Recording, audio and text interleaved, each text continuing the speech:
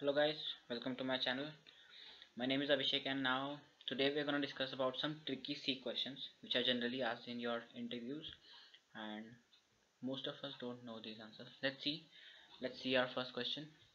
Uh, in this question we are given uh, integer variable before the printf statement. What will happen if we will compile this? Let's see whether there will be a compilation error or it will give some kind of message or it will give some answer let's see what's the answer you can see it has given the output as 5 5 कैसे आया अब ये समझते हैं actually the print return type of printf statement is the number of characters inside the printf statement so here we can see a b c d e there are five characters so a has taken the value 5 we can change we can check it once again. Let's enter my name. Abhishek and now let's see what happens. It will give answer as 8 as it has 8 characters. So this is one of the tricky question which most of us didn't know about. So let's see the next uh, question.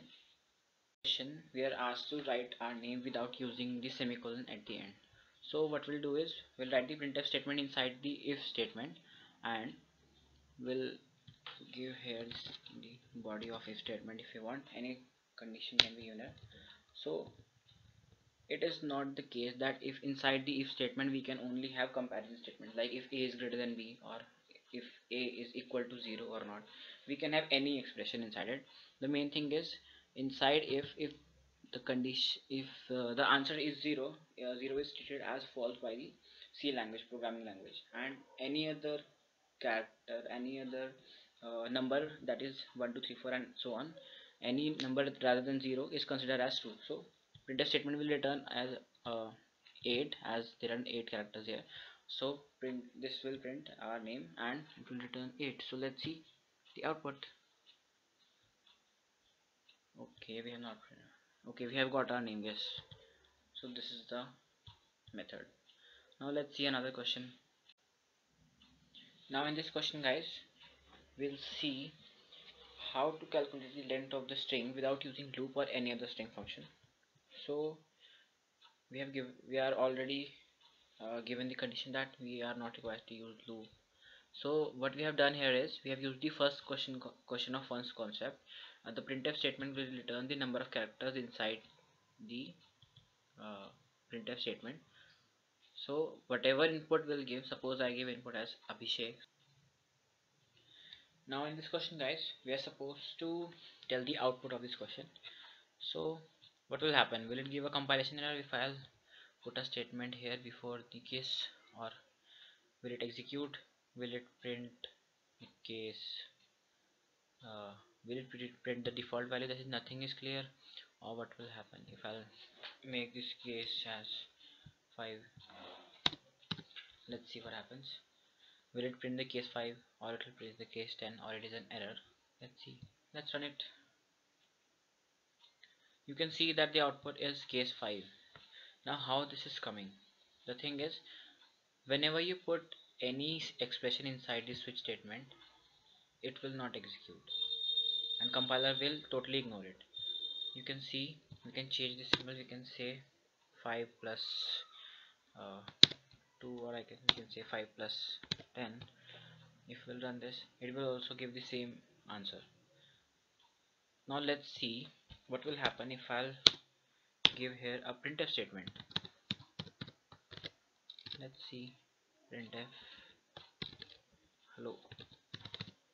Now let's run this. You can see still it gives the same answer. So whether we put a printf statement or any expression which is related to any arithmetic operation. So switch statement will not be affected. Compiler will ignore this statement. So now let's see another question. Turn 8 characters if I'll give here my name Abhishek. So this will be assigned to the len variable. So later on we can print the len variable. Let's see what's the output of this. Enter the string let's say b you can see the output is length is 4 okay? So by this method we can do this. Now let's see another question. Now in this question guys we are supposed to guess the out output. What do you think? What will be the output? We have given an integer as a is equal to 4 and we are printing the value of this percentage d a. And we have given here a plus 1 now what does this mean? Is it a compilation error or something? Now let's see what will the output